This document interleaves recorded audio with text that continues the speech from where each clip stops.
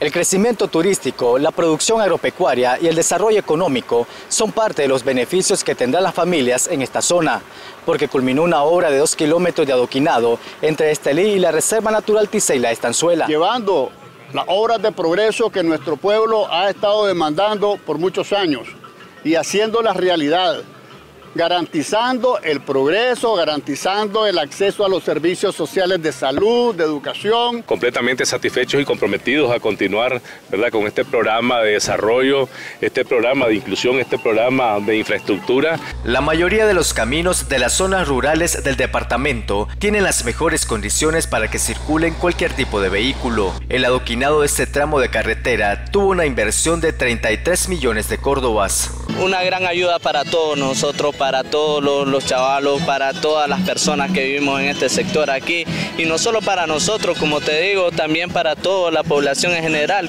Y esto va a permitir más turistas visitando nuestro departamento. Un aproximado de 30 mil habitantes de cinco comunidades, entre esta la Estanzuela, Almaciguera, La Tejera, El Cesteo, El Jalacate y otras del municipio de San Nicolás, contarán con un nuevo proyecto de mejoramiento vial.